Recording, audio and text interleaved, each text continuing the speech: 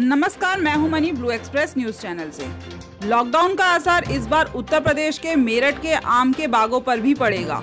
Lockdown होने की वजह से आम का व्यापार चौपट होने की आशंका जताई जा रही है। लॉकडाउन होने से बाग में आम मंडियों तक नहीं पहुँच पा रहा। बताते चले कि मेरठ के ग्राम ललसाना, मोदीपुरम, महावीर सिंह बागवान का कहना है कि आम की फ़सल इस समय तैयार है सर पर। आम की बिकने की उम्मीद नहीं दिखाई दे रही है। लगता है कि आम बाग में ही सड़ जाएगा हमारा बड़ा नुकसान होगा इससे और हम सड़क पर आ जाएँगे। Blue express news channel Meerut से विजय वर्मा की रिपोर्ट। क्या नाम है आपका? मेरा नाम महावीर सिंह है जी। ग्राम ललसाना मोहद्दीनपुर लॉकडाउन में क्या परेशानी आ रही है आपको इस आम के बाग को लेकर? लॉकडाउन में सारी समस्या है जी। आम की फ़सल सिर पर तैयार है इस टाइम आम बिकने की उम्मीद नहीं दिखाई दे रही कहीं। तो आपका मंडी में आम नहीं जा रहा? मंडी में आम नहीं जा रहा अभी।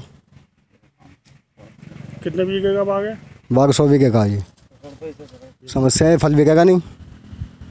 और दो लाख सौ की दवा लग रही है बाग के अंदर।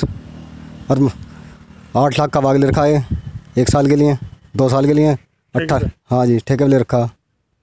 बाग युद्धवीर सिंह ललसाने वालों का।